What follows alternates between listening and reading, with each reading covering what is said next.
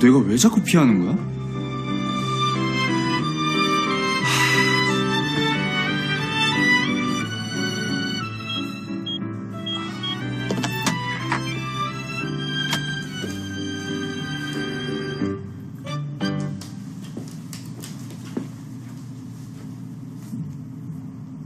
다신 이 방에 안 올 줄 알았는데.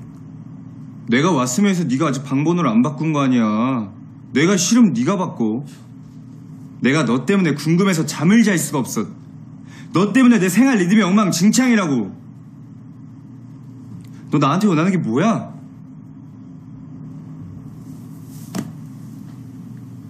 원하는 거 있음.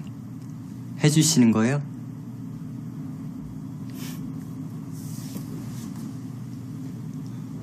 선배한테 원하는 거 없어요.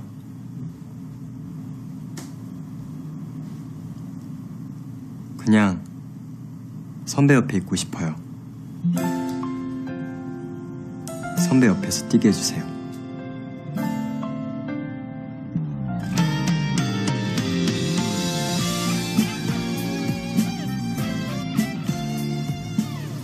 그럼 대답해.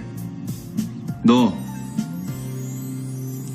달리기 할 때 어떻게 그렇게 정해진 시간에 뛸 수가 있어?